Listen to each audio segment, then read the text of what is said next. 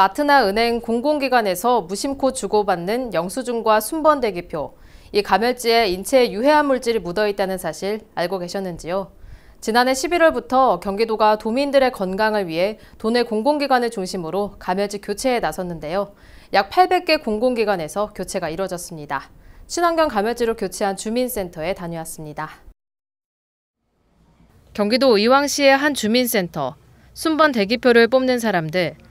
순서를 기다리는 동안 손에 꼭 쥐어진 순번 대기표. 여기 이렇게 오면은 보통 이렇게 뽑으면 꾸기기도 하고 또 어떨 때는 아 이것도 뭐 어떤 은행 같은데 영증이라고 또 껴놓기도 하고 했었는데 그런 유해 성분이 많이 들어있는지는 몰랐습니다. 그럼 이게 바뀌었다고 하니까 제가 조금은 안심이 되는 느낌이 듭니다. 기존에 사용하던 감열지였다면 유해 물질이 손을 통해 그대로 흡수됐을 겁니다. 하지만 여기서 사용하는 순번 대기표는 유해 물질인 비스페놀 A 성분이 들어가지 않은 비스페놀 A free 감열지입니다. 이곳에서도 이 성분이 함유된 감열지를 사용했지만 경기도의 선제적 조치에 따라 지난해 11월 감열지를 교체했습니다. 네, 저희도 매일 번호표 받으니까 걱정이 조금 됐었는데 작년 11월부터 친환경 소재로 바뀌어서 저희 한결 안심이 되는 것 같습니다. 일상생활에서 흔히 주고받는 영수증이나 주차권, 순번 대기표 등에는 감열지를 사용합니다. 감열지는 열을 가해 글자를 표기하도록 만든 특수 종인데 감열지 제품 가운데 일부는 유해 화학물질인 비스페놀 A가 포함되어 있습니다. 비스페놀 A, BPA는 환경 호르몬과 생식 독성 물질로 폐 기능에 영향을 주고 불임과 천식을 일으킬 가능성이 있습니다.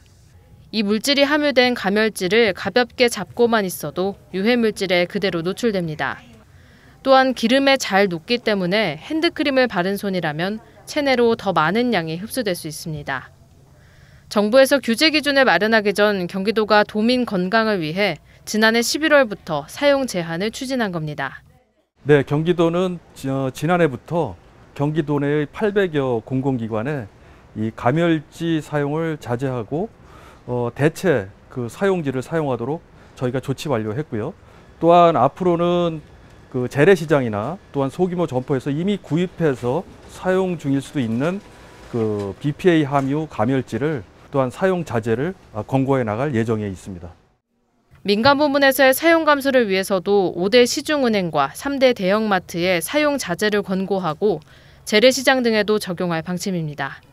경기지TV 이슬비입니다.